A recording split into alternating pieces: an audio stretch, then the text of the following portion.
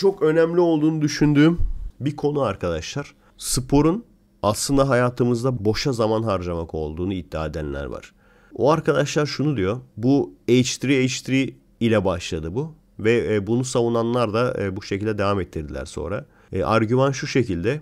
Diyor ki mesela sen spor yapıyorsun neden? Sağlıklı yaşamak için. Sağlıklı yaşayıp ömrünü uzatmak için. Sonra diyor ki işte sağlıklı yaşamak için günde yarım saat spor yapman lazım.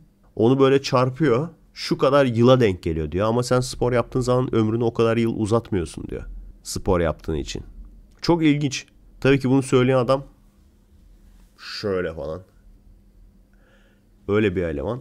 Bunun ve bu argümanı savunan da çok insan olmaya başladı. Yani spor boşa vakit kaybıdır, boşa enerji kaybıdır diye ben bunu söyleyen çok fazla insan gördüm. Bu arkadaşlar net yanlış bir şey. Ne de olduğunu da söyleyeceğim. Her şeyden önce arkadaşlar spor yapmak demek günde yarım saat boyunca koşu bandına koşmak demek değildir. İkincisi günde yarım saat boyunca koşu bandına koşmak bir işkence değil zaten. Eğer bunu yapıyorsan. Benim yaptığım spor nasıl mesela? Haftada 3 gitmeye çalışıyorum ben mümkün olduğu kadar. Haftada 3 gidiyorum. Masa başında evde çalıştığım için eğer gitmezsem mutlu olamıyorum. Çünkü gittiğiniz zaman arkadaşlar sosyalleşiyorsunuz. Yani evde koşu bandında koşmaktan da gerçekten farklı. Oraya gidiyorsunuz birkaç insan görüyorsunuz. Yani o gün başka hiçbir planınız olmasın. Yolda birilerini görüyorsunuz. Spor salonunda insanları görüyorsunuz. Merhabalaşıyorsunuz. Sosyalleşmek çok çok önemli. Bugün mesela sadece Aikido'ya gittim. Orada gene insanları gördüm. Gene merhaba dedim. Bu çok önemli arkadaşlar. Bunları yapmadığınız zaman yani ben mesela evde çalışıyorum diyorsanız ve herhangi bir yere gitmiyorsanız, sosyalleşmiyorsanız gerçekten yavaş yavaş depresyon geliyor. Depresyon gerçekten yavaş yavaş geliyor. Ger- gerçekten yavaş yavaş mutsuz olmaya başlıyorsunuz. Yani böyle ne olduğunu bile bilmeden, sebebini bile bilmeden internette, sosyal medyada gördüğünüz çoğu şeye böyle sinirleniyorsunuz. Durduk yere böyle atarlanıyorsunuz vesaire. Tabii yaptığım spor sadece bu değil. Çeşitli ne denk gelirse onu yapıyoruz. Perşembe günü mesela bisiklet yaptık. Ali gittik. Arkadaşlarla birlikte bir aktivite yaptık. Ondan sonra hatta bazı arkadaşlar uzun süre denize girmemiş. Bu bahaneyle denize girmiş oldular. Biz de deniz sezonunu açmış olduk böylece. Hava çok sıcak değildi ama deniz sıcaktı. Bisiklet sürmüş olduk. Bir de drone görüntüsü almış olduk. O drone görüntülerini de yakında göreceksiniz arkadaşlar. Onları yapacağız. Büyük ihtimal ilk yapacağım şey o olacak. E bunlar gerçekten sağlık ve mental sağlık için de çok önemli arkadaşlar. Vücudunu hareket ettirmek çok çok önemli bir şey. Eğer vücudun hareketsizse hayatında çok önemli bir sorun var. Yani siyasetten vesaireden o kazanmış öteki kazanmıştan çok daha büyük bir sorun. Maalesef ben bunu çok görüyorum. Üzülüyorum ki ben bunu çok görüyorum. Yani çok fazla örnek verebilirim. Belki sizin karşınızda da veya tanıdığınız olan da böyle insanlar vardır. Evden dışarı çıkmıyorlar. Hiçbir şekilde çıkmıyorlar. Kilo var bazılarında. Bazılarında sigara da var. Bazılarında üçü birden var. E, ondan sonra ama işte siyasetten dolayı işte istediğim parti kazanmadı çok üzgünüm falan. Arkadaşlar hayır. Gerçekten bak ben mutsuz bir insan değilim. Benim de istediğim parti kazanmadı. Hatta muhalefeti de istemiyordum ben. Hiç kimseyi istemiyordum. Gene de mutsuz bir adam değilim. Yani şeyi düşünün. Bu Kılıçdaroğlu'na oy vermeyeceğim dediğim zaman işte birçok linç olmuş. Ben onların birçoğunu görmedim bile. Ekşi'ye zaten avukatım bakıyor. Gerçekten arkadaşlar yalan değil. Ayakta yapmıyorum. Ekşi'de kendi sayfama ben bakmıyorum. Gerçekten. Kendi sayfama bakmıyorum. Neden? Gerek yok çünkü. Ama mesela sürekli evde oturup bu şekilde duran birisi olsanız kurulursunuz. Kurulursunuz ve böyle şeylere çok fazla kafayı takarsınız. Yani o olaylar olduğu zaman mesela biz kanyona gitmiştik. Dağcılık için yani. Ayakta sandaletlerle Nazarköy'de kanyona gittik. Ayaklarımızı suyun içine soka soka kanyonun içinden geçtik. E çevrenizde sizi seven arkadaşlarınız var. 3 ya da 4 kişi de olsa Şimdi sosyalleşmek şu anlamda önemli. Birçok insan asosyaldir ya bak biz de asosyaller diyoruz zaten. İşte ne cumartesi asosyalleri. Asosyaliz birçoğumuz ama şunun farkındayız tabii ki. O bizim suçumuz değil. Değil mi? Etrafımızdaki insanlar bizim kafamızda olmadığı için asosyaliz. Evet. O yüzden yani asosyallik yanlış değil ama bizim mental sağlığımıza zararlı arkadaşlar. Kimseyle konuşmamak. Peki olayın çözümü ne? Olayın çözümü bizim kafamızda insanlar var arkadaşlar. Gerçekten var. Bir şekilde yani şu anda sosyal medya gerçekten büyük bir nimet bu konuda. Kendi kafanızda bir şekilde insanlar bulabilirsiniz. 5 kişi zaten olsa yeter. Yani milyonlarca insan var bulunduğunuz şehirde. Bazılarını yüz binlerce. 5 kişi bulsanız yeter. 4 kişi bulsanız, 3 kişi bulsanız yeter. Birlikte aktiviteye gidecek. İlla ki gerçekten ararsanız bulursunuz. Bunlar önemli şeyler arkadaşlar. Bir de tabii amaçsız buluşmuyoruz biz. Hep bir amaç doğrultusunda buluştuğumuz için çok fazla böyle kavga falan çıkmıyor. Amaça odaklanmış oluyoruz çünkü. Amaça odaklanıyoruz. İşte aikido yapmak mesela ya da işte canyoning yapmak ya da bisiklete binmek. Bisiklete bindiğin zaman hem sosyalleşiyorsunuz hem çekim olmuş oluyor hem spor yapmış oluyorsunuz hem de eğleniyorsunuz. Hepsi bir arada mesela. Beni seven benim de çok sevdiğim birisiyle birlikteyim. Çevremdeki arkadaşlarım öyle. O yüzden bunlar gerçek şeyler. Gerçek şeylerin bunlar olduğunu ben farkındayım. Para da kazanıyorum. Bu tür linç olayları olduğu zaman daha çok para geliyor. Bunların farkında olduğum için önemli olan şeylerin de bu olduğunu bildiğim için geri kalan saçma sapan şeyleri kafaya takmıyorum arkadaşlar. Birçok konuda takmamanız lazım. Takmamayı öğrenmeniz lazım. Takmamayı öğrenebilmek için de şu dediğimi yapmanız lazım. Bir de şu var arkadaşlar. Sağlıklı yaşam için spora başlamam lazım deniyor ama mesela sigarayı bırakmadan spora başlanıyor. Bu da Türkiye'de olan bir şey. İlk yapman gereken aslında sigarayı bırakmak. Yani kafana evet ben artık sağlıklı yaşamak istiyorum. Neden? Çünkü mutlu olmak istiyorum. Şu an mutlu değil birçok kişi değil mi? Mutlu değil, mutlu olmak istiyorum. Spora başlamak istiyorum. Evet önce sigarayı bırakman lazım. Bu şey gibi arkadaşlar. Hani bazen olur ya gemi batıyor ağırlıkları atmamız lazım diyorsun. Sigara öyle bir şey. Biliyorum birçok insan kızacak bana ama ben diyorum ki gerçekleri söylüyorum. Bu arada harbiden ne şeytan adam lan o sigara satıcısı.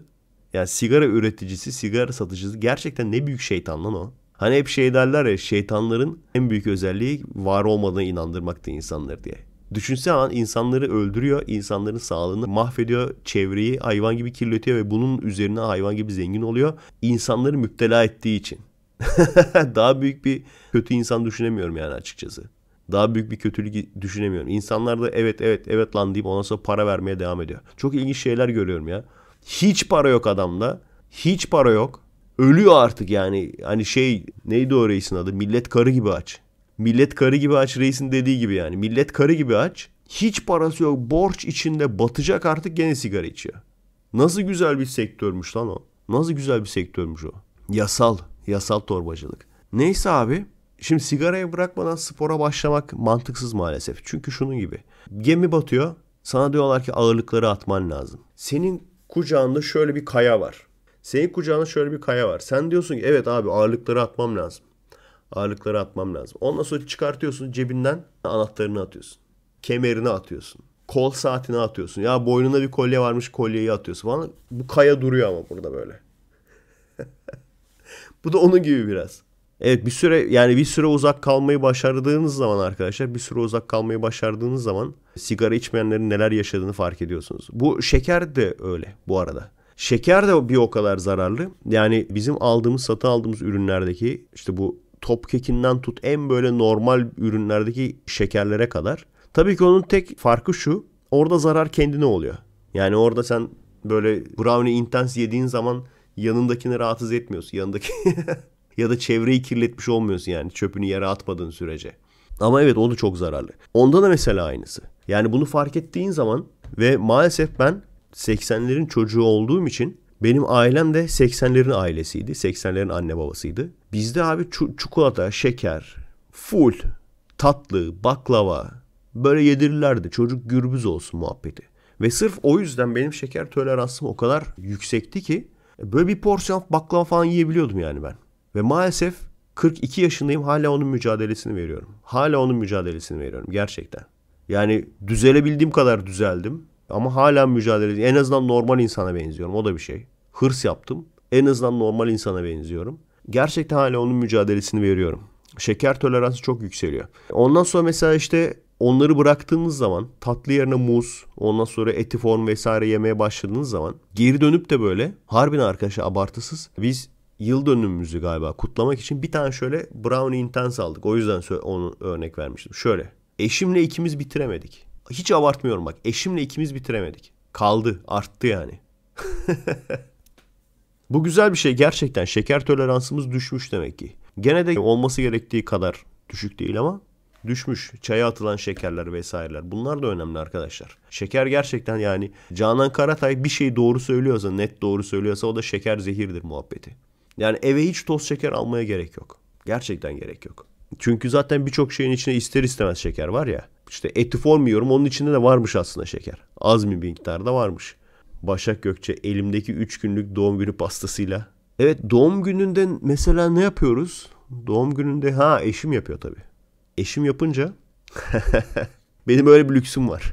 Bu şeyler falan var ya arkadaşlar gerçekten şey demiştim ben eskiden. Hani eskiden maddi sıkıntılarım olduğu dönem falan var demiştim ya. O zaman şey diyordum. Zengin olduğum zaman şu zengin içeceklerinden, zengin tatlılarından alacağım diyordum. Şu an ara ara alıyorum onlardan. İşte protein bar olsun. Ondan sonra meyve tatlı barı. Biliyor musunuz onları arkadaşlar? Meyve tatlısı bar. Yani onları da tabii çok fazla tüketmek e, sağlıklı değil. Çünkü onların içinde doğal şeker yani meyveden kaynaklanan şeker var ama e, gene de hiçbir şeyden e, iyidir yani kesinlikle. Canan Altıntaş şeker yerine bal kullanayım. O da aynı şekilde yani. Şeker kullanmaktan hepsi iyi. Tabii ki maalesef şey diye bir şey yok. Bunu istediğin kadar kullanabilirsin. Hiç sıkıntı yaratmaz diye bir şey yok tabii. Ama bunların hepsi direkt şekerden iyidir yani. Onu tavsiye ederim arkadaşlar. Yani ona alıştıktan sonra artık ne kadar zenginsiniz bilemiyorum tabii de. Meyve tatlısı bar diye geçiyor onlar. Böyle çikolataların yanında olmuyor. Daha çok böyle spor ürünlerinin yanında oluyor. Başka yaptığım bir tatlı söyleyeyim mi size arkadaşlar? Çok hoşuma gidiyor. Tabi bu sağlıklı mı bilemiyorum. Fıstık ezmesi bu sporcu fıstık ezmesi ama şeysiz şekersiz yani. Onu bir yerde bir kapta böyle toz tatlandırıcıyla karıştırıyorum. Evet, zengin tatlısı demiştim. Toz tatlandırıcıyla karıştırıyorum. Çok az kakao koyuyorum ona. Eğer fıstık parçacıklıysa onu karıştırdıktan sonra şöyle bir top haline getirebiliyorsun. Onu böyle muzla yiyorum mesela. Yanında da süt. Laktozsuz süt. Gerçekten çok güzel oluyor. Kesinlikle mesela tatlı krizi, tatlı ihtiyacı hiçbir şey olmuyor. Ama dediğim gibi hani bazısı da diyor ki stevia işte stevia tatlandırıcısı. Bazısı diyor ki o da sağlıksız. Bilemiyorum yani. Yenir abi tarif bekleriz. Şu an yanımda aslında var fıstık ezmesi ama şeyden krem gibi olanından var. Ondan da yapılıyor ama tek farkı top yapamıyorsun. Kaşıkla yiyorsun. Yanında da işte muz yiyorsun. Muz onun aşırı tatlısını alıyor. Yoğurtla şeftali çok iyi. Evet yoğurtlu tatlılar da çok iyi oluyor. Ben İsviçre'nin böyle dünyanın en pahalı şehirlerinden bir tanesi olduğunu okumuştum. Lüksemburg onlardan bir tanesiymiş gene. Ama tabii maaşlar da ona göre. Yani onlar çok fazla etkilenmiyordur büyük ihtimal tabii.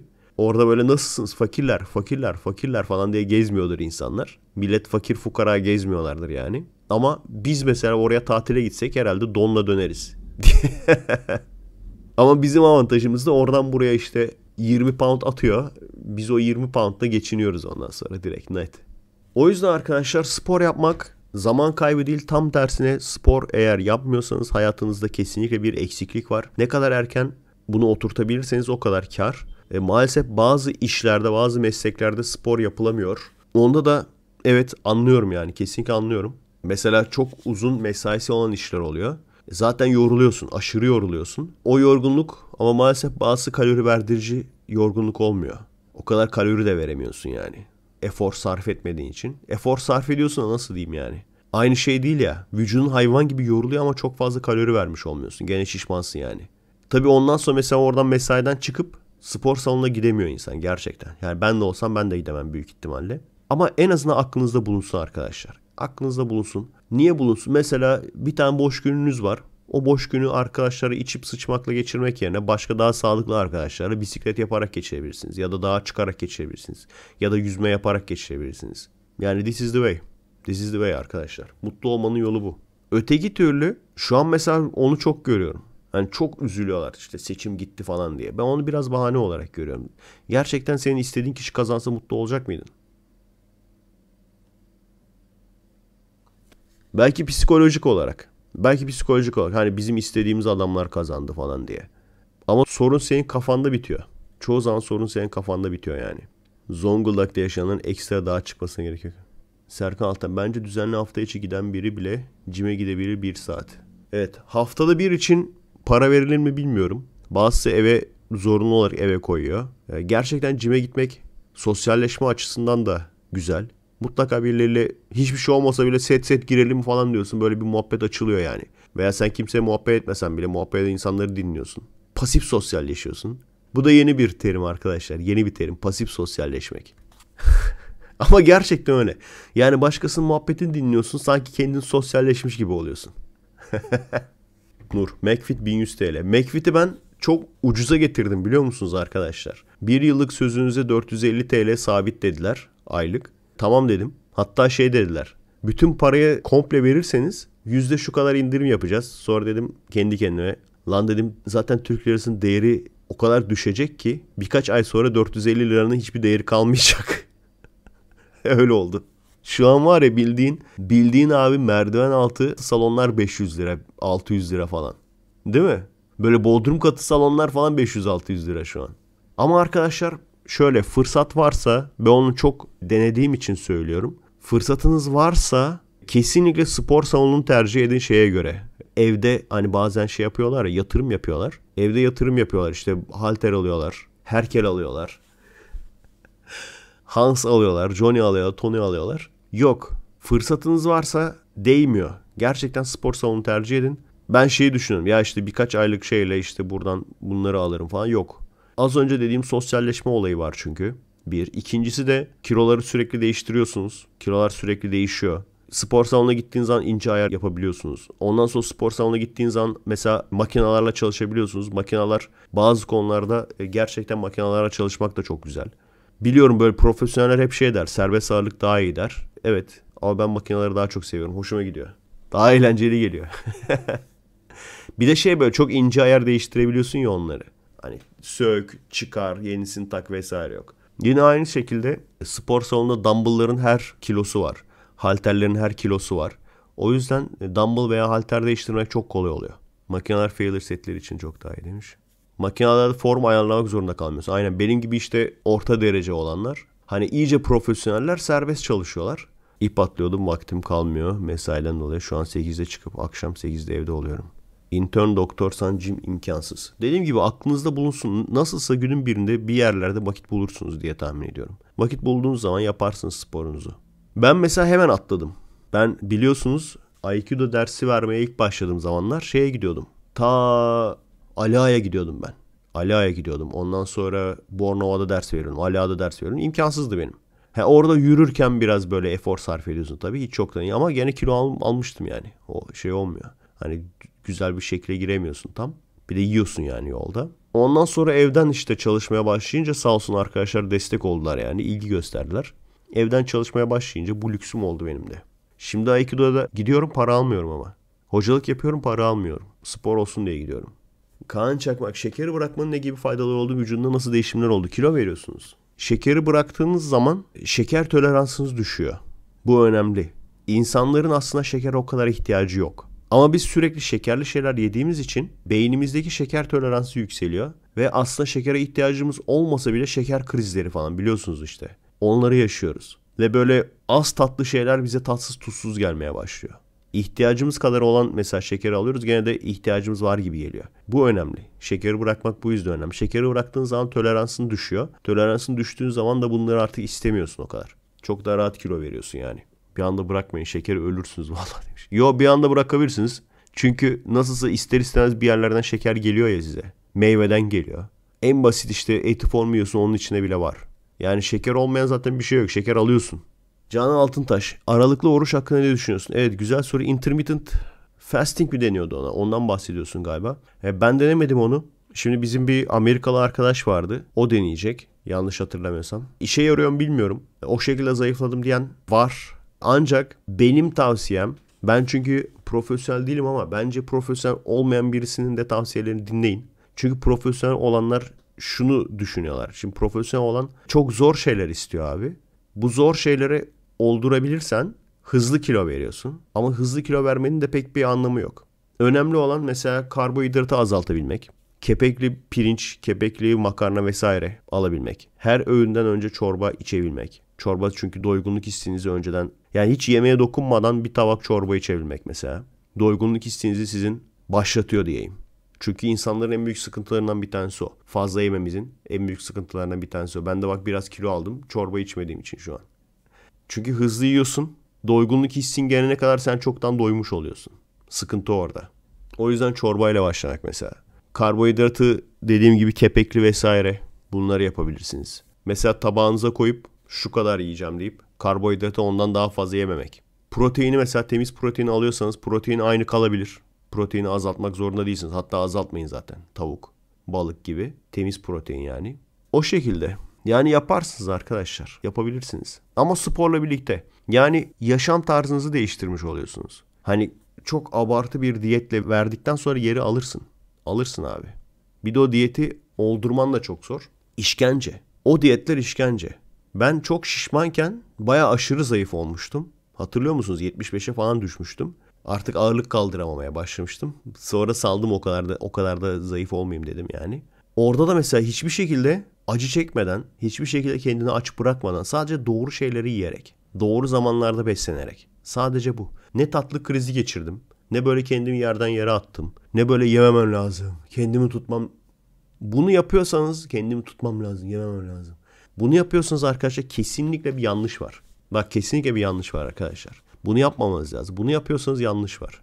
Bu çok önemli. Çünkü böyle hayat geçmez ki. İşte bazen görüyorum diyet uygulamaya çalışıyorlar. İmkansız diyetler yani. Kahvaltıda bir tane ceviz yediyor. Manyak mısın sen? Kahvaltıda bir tane ceviz yiyerek ne yapabilirsin? Ama çalışıyor bile olsan kahvaltıda mesela bir dilim ya da iki dilim kızarmış kepekli ekmek. Üzerine zeytinyağı, ne bileyim kuru domates, zahter ya da işte kırmızı biber, tuz. Bunu yiyebilirsin. Yanında yumurta, yanında sosis, tavuk sosis mesela. Yanında çok az yağlı peynir. Bunları yiyebilirsin yani. Ama spor da yapacaksın. Hareket de edeceksin. Bunları yapabiliyorsan bu yeterli. Aradaki fark ne? Aradaki fark şu. Yavaş kilo verirsin. Ayda 2-3 kilo verirsin. Ama ideal kilona geldiğin zaman orada kalırsın. Bizim insanımızda aslında genelde insanlarda da var bu. Ama bizim insanımızda da var bu. Uzun vadeli ileri düşünme yok. Kesinlikle yok. Spor salonuna eğer gidiyorsanız bunu net görürsünüz. Nisan'da spor salonları dolar. Herkesin kafasında o var. Nisan'da bir de böyle şey. Bir de şöyle dolar. Şişmanlar gelir yani. Net onu görürsünüz. Böyle kışın falan o kadar şişman yoktur. Bu bir gerçek. Kışın falan o kadar şişman yoktur. 5 parti artı vişne suyu eşittir reflü. Nisan'da gelirler ve böyle çok aşırı abartı sporlar yaparak böyle şey yapmaya çalışırlar. İşte o fazla kiloları vermeye çalışırlar. Olmaz o iş. Neden olmaz o iş? Ne de olmayacağını söyleyeyim. O efor sarf eder sonra çıkar der ki huh bir pastayı hak ettik. Geçmiş olsun. O spor gitti. O sporu çöpe at. Bana hoca şey diyordu. İlk spora başladık tabii ben şeyim. Başka salona da gitmiştim de başka salona gittim bilmiyordu belki de. Hani yeni başlıyorum san, sanmıştı belki. Hoca şey demişti. Sen dedi burada istediğin kadar spor yap dedi. Çıktıktan sonra şurada 3 tane bomba yesen boşa gider dedi. 3 tane bomba yesen ben ölürüm zaten. İzmir'in bombasını biliyor musunuz? Meşhur olmuş lan o da. İstanbul'a gidiyorum İzmir bombası diye satıyorlar. Ben 3 tane bomba yesem ölürüm zaten. Şeker komasından. hem mecazi hem gerçek. Bomba abartılıyor. Bomba Amerikan tatlısı gibi ya.